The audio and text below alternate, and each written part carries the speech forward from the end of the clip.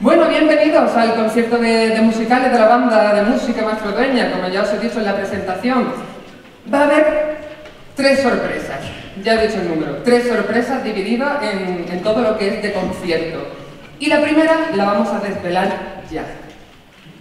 La primera es que tenemos un artista invitado y como no ha podido venir hasta aquí, lo vamos a tener de una forma diferente. Para la primera obra, y la primera obra es Jesucristo Superstar, tenemos a José María del Castillo, que hizo un gran papel en, este musical, de hecho hizo varios. Así que, por favor, vamos a conectar en directo con José María del Castillo. Buenas noches, José María. ¿Qué tal? Buenas noches, Alex. Muchas gracias por invitarme aquí al concierto de Santa Cecilia. Un placer. Oye, les estaba comentando que hiciste Jesucristo Superstar. ¿Qué fue para ti Pasado. Ah. A ver, perdona, pero se ha cortado la conexión. Perdón, perdón. Decía que ¿qué fue para ti actuar en Jesucristo Superstar?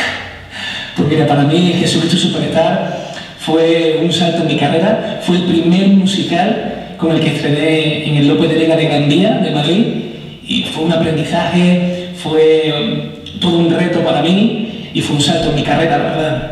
Qué bueno. Oye, tío, ¿y por qué llevas esa corona? la corona. La corona es porque uno de los personajes que interpreté en Jesucristo Superstar fue el Rey Herodes, aparte de Pedro, de Simón Celotes. Y bueno, también me sabía todo lo de la compañía, todo lo del elenco, porque yo tengo un cargo de dirección y tengo que aprender todos los personajes. Ahí está un poco todo el reto de, de este musical con el que disfruté muchísimo. Bueno, José María, yo ya he hablado mucho, así que te toca presentar el musical. Nos vemos luego. Perfecto.